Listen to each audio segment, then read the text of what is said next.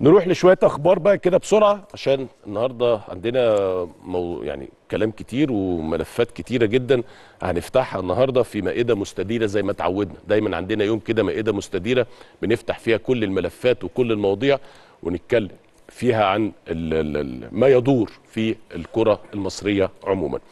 كولر سعيد جدا بتاو كولر سعيد جدا بتاو ويبدو إن الجلسة اللي حصلت بينهم أتت بثمارها. يعني إيه؟ العلاقات رجعت زي الفل ورجع الانسجام والود ما بين كولر وما بين تاو بعد أن توترت العلاقات بينهم لفترة ليست بالقصيرة. يعني العلاقات كانت متوترة بينهم فترة كانت يعني ها طولت شوية. لكن كولر قدر إن هو يجيب آه، تاو والأمور وده بان في الماتش اللي فات من أداء تاو اللي فكرنا بتاو بتاع الموسم اللي قبل اللي فات. يعني مش الموسم اللي فات لا اللي قبل اللي فات. ده اللي حصل وبالتالي آه، هناك تفكير داخل النادي الأهلي لتجديد. دي آخر سنة على فكرة لتاو. هناك فكر آه، آه، تم طرح فكرة للتجديد لتاو. بس خلي بالك إذا تم طرح الفكرة فهي مؤقتة. ليه؟ لأن الأهلي لو وجد ضلته في طرف قوي مميز أسرع أقوى هيعملها الأهلي على طول. مش هيروح لتاو في الحالة دي. بس هو مبدئيا يعني في في في شعور بالارتياح تجاه تاو بعد الفترة الصعبة اللي كانت ما بينه وما بين مارسيل آه كولر.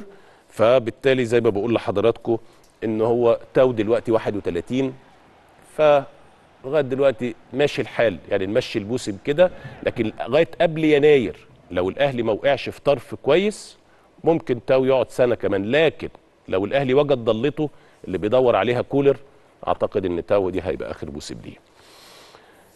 الأهلي بيكمل تدريباته استعدادا لمباراة آه، جورماهيا. آه، مارسيل كولر كان عامل محاضر النهارده. أشرف داري نزل التمرين الأساسي لنادي الأهلي بشكل طبيعي جدا بعد الإصابة اللي حصلت له في ال FIFA date مع منتخب المغرب. طيب مسؤولين في النادي الأهلي أو في لجنة التخطيط عموما. بوضوح كده حصل آه، اتصالات بينهم وما بين دينو لامبارتي. مين دينو لامبارتي ده؟ ده وكيل مارسيل كولر.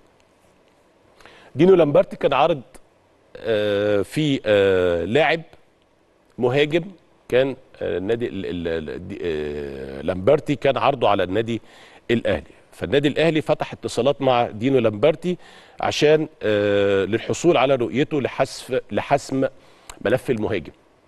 اللي مازال موجود في دماغ مارسيل كولر ودماغ لجنة التخطيط في النادي الأهلي ولكن بهدوء بعدم تسرع لأن التسرع السنة اللي فاتت جاب مودست. يعني التسرع السنة اللي فاتت جاب مودست. والموضوع ده مش هيتكرر تاني. فعشان كده الأهلي حذر جدا مع كولر وفي اتصالات دايما كل فترة تبص تلاقي اجتماع مع كابتن الخطيب وكولر بخصوص هذا الملف. فواضح إن في تدقيق قوي جدا. سبب رفض كولر لأكتر من مهاجم اتعرض عليه الفترة اللي فاتت بما فيهم عمر فرج إن وجهة نظره إن وسام أبو علي أفضل. فهو بالتالي قال لك لا إن ما كانش المهاجم هيبقى أفضل من وسام فأنا مش عايز. أنا كده تمام وزي الفل. لكن يجي في مستوى وسام وكهربا وك... لا مش عايز. فهي القصة ده اللي معطل الموضوع وعايز الافضل لو لو اتعرض على أهلي الأفضل. ففي تروي وفي هدوء جدا في اختيار المهاجم.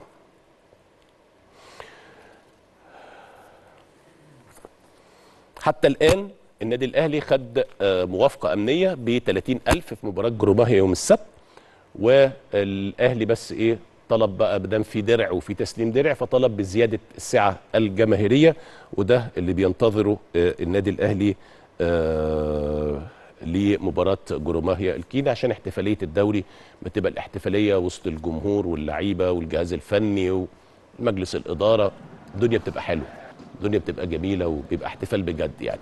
فده اللي طلبه النادي الأهلي هي زيادة السعة الجماهيرية آه، أكتر من 30000 اللي النادي الأهلي خد عليها إيه موافقة مبدئية.